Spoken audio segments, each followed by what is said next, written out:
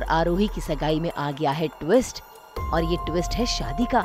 असल में पंडित जी ने शादी के लिए डेट तीन दिन के बाद की रखी है जिसे महिमा ने सभी घर वालों को बताया और सुनते के साथ ही सभी घर वाले हैरान रह गए।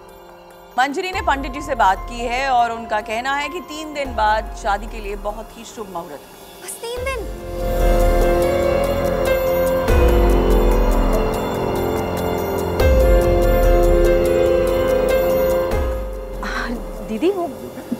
तो बात हुई थी। हमने फाइनल कहाँ किया था? हाँ तो अब कर रहे हैं ना फाइनल मतलब शादी तीन दिन में हो या तीन महीने में? जब करनी है तो फिर प्रॉब्लम ही क्या है?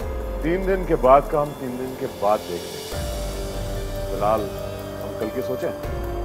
आप सबको तो पता ही होगा कि कल कायरा वाले केस में पुलिस तय करने वाली है कि आगे क्या करना है। बिल्कुल तो याद आ, कल वो फैसला हो जाएगा। बिल्कुल याद है। तो फिर हम आ, कल के ऊपर फोकस करते हैं। आपकी बातों में बातें करेंगे।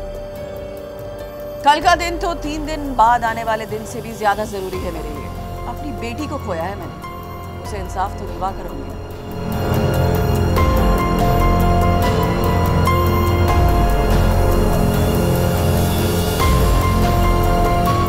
यहाँ रिश्ते भले ही जुड़ जाएँ, लेकिन परिवार वालों के बीच मतभेद बने रहेंगे। कल मैंने इनके किए की सजा दिलवा कर रहूँगी।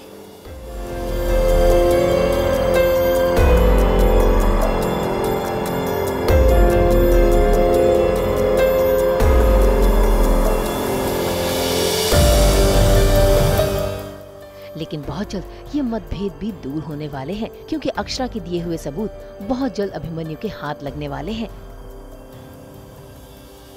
बोलिए। क्यों बुलाया? मेरे केस के साथ कल मेरी किस्मत का फैसला भी हो ही जाएगा।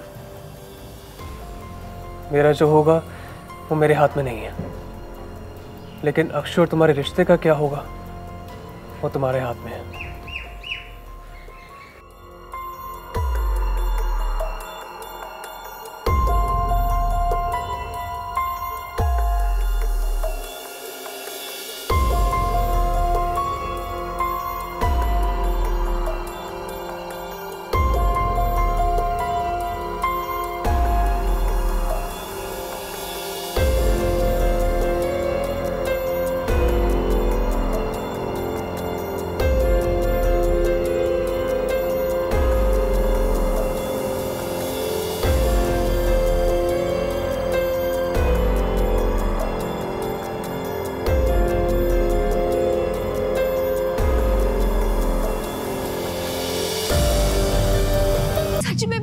तुम्हारे कमरे में ही रखे थे। प्लीज़ ढूँढने की कोशिश करो अभिमन्यु। और उसी के बाद कायरव हो जाएगा बेकसूर साबित। तो देखना होगा कि ये ट्विस्ट सीरियल की कहानी में क्या नया मोड़ लाएगा। वाला ब्लैंकेट यूज़ कर लेना।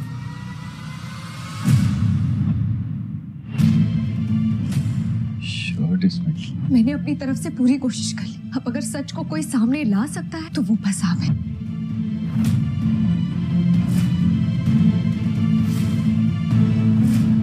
मुंबई से ब्यूरो रिपोर्ट।